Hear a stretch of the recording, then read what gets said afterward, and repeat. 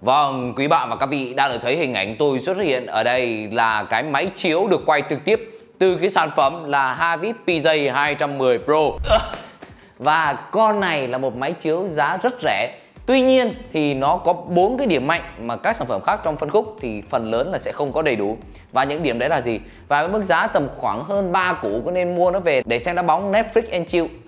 Netflix and chill với bạn gái ở nhà không? Thì anh em hãy xem video review ngày hôm nay. Netflix and chill là người ta làm cái gì ở đấy nhỉ? Rồi thôi quay trở lại với cái máy chiếu này đi.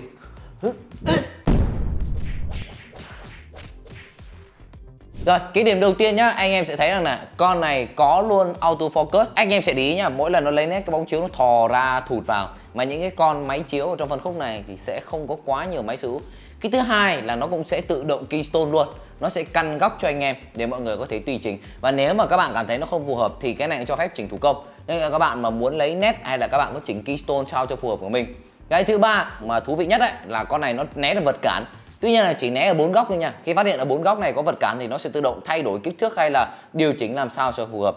Và đây là những cái thứ mà mình cảm giác là nó khá là thuận tiện Đặc biệt với những chiếc máy chiếu như thế này. Các bạn mua tặng cho bạn gái hoặc các bạn mua để ở nhà Các bạn mang đi du lịch, các bạn mang để ở văn phòng Thì bất kỳ chỗ nào các bạn chỉ cần đặt xuống thì nó sẽ tự động xử lý cho chúng ta.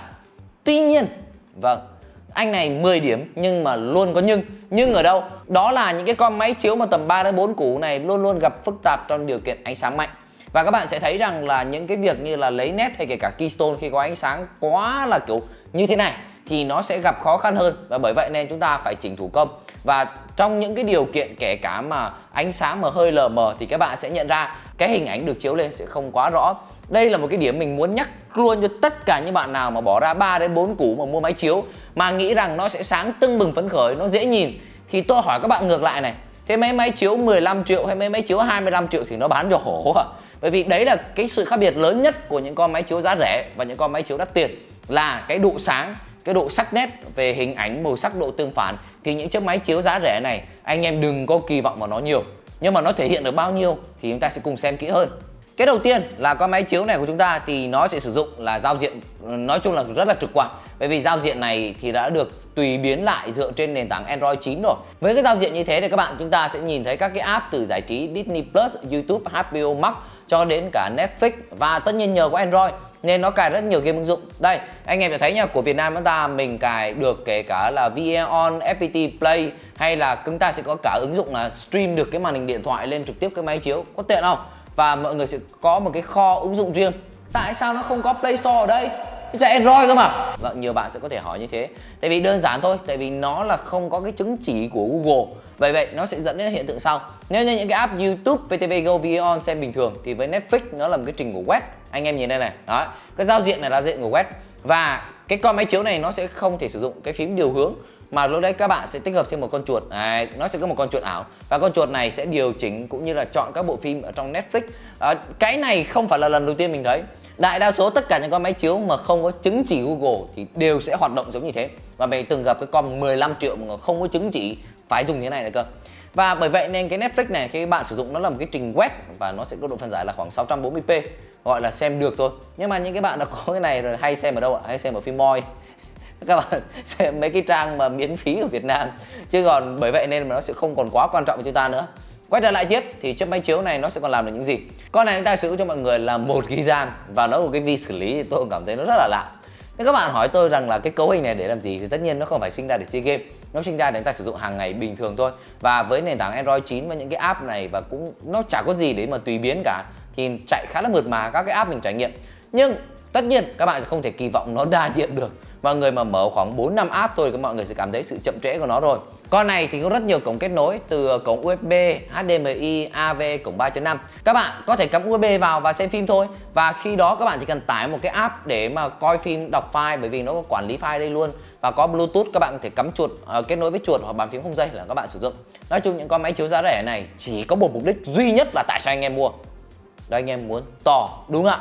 Thì cái máy chiếu của ta là 170 inch nhưng tôi khuyên là các bạn chỉ tầm cỡ mà 70 inch là đẹp thôi và với cái màn chiếu của mọi người mọi người sẽ nhìn thấy hình ảnh nó to rất nhiều. Còn 3 đến 4 triệu thì các bạn mua tivi bao nhiêu inch nhỉ? 3 4 triệu. Nói chung là 3 4 triệu thì các bạn cũng quên đi cái ý tưởng là mua một cái tivi ngon lành cảnh đảo, đúng không? Nó chỉ gọi là chống mù, ta cập nhật thông tin. Còn không thì các bạn toàn xem trên laptop 3 đến 4 triệu thà xem quách trên laptop hoặc là máy tính bảng này các bạn có sẵn bởi vậy nên cái máy chiếu này các bạn để ở nhà, Netflix and chill. Bạn gái đến nhà tiết kiệm được bao tiền, không phải ra rạp, mua bóng ngô, rồi còn bị up sale thêm, rồi cả là nước to, ngô, bắp này nọ kia. Còn với cái này các bạn thể ở nhà xem phim, các bạn giải trí. Mà mình thấy rằng là cái phương pháp mà máy chiếu mà các bạn mà chưa có quá nhiều tiền, mua cái loại này là vừa tầm mà phục vụ được đúng cái mục tiêu là nó thật to. Và khi đó cái phòng các bạn sẽ tắt toàn bộ đèn đi thì các bạn mới xem được. Nhưng anh em sẽ nhìn thấy này, cái phim này là cái phim hoạt hình mới nhất ở trên Netflix và các bạn nhìn thấy cái màu sắc của nó như vậy vẫn khá là tươi. Nhìn các cái cảnh của Ngọc Hoàng da mặt màu vàng hay là màu tím. À, nếu như mà mình nói rằng là nó tệ thì hoàn toàn không đúng vì chúng ta phải xét trên giá thành của con này là dưới 4 củ thì cái này là mình đánh giá là tốt. Ngoài ra những cái cảnh có màu sắc xanh thì các bạn nhìn thấy này các cái tán lá cây nó vẫn có thể tách biệt được.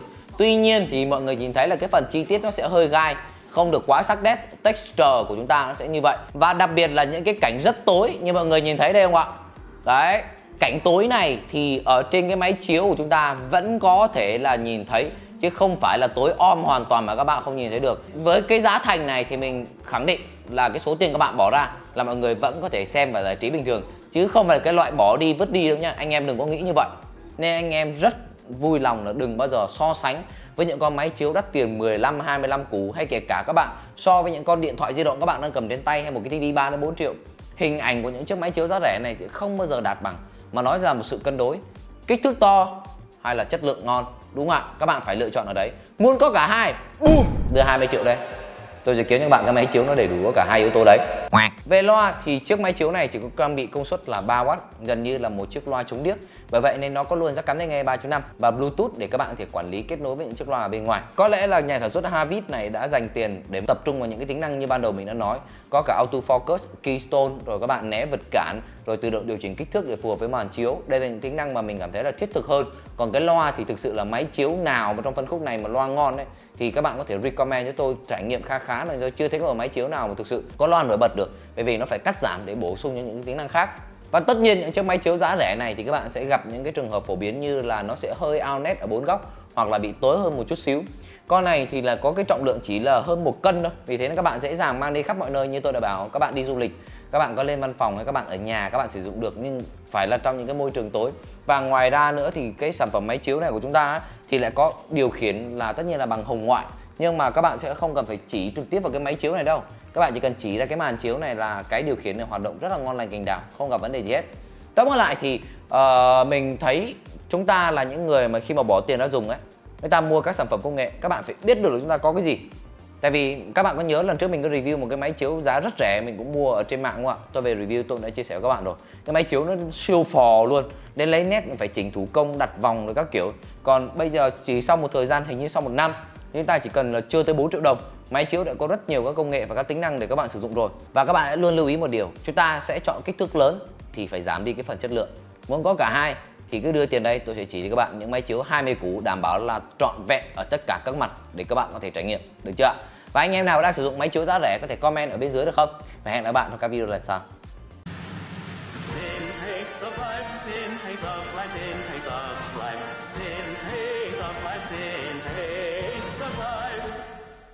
Không sử dụng cái chính chữ, không sử dụng cái chính.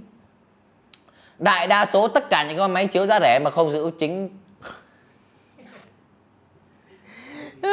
Cười thật. Cái này phải để đó after credit nữa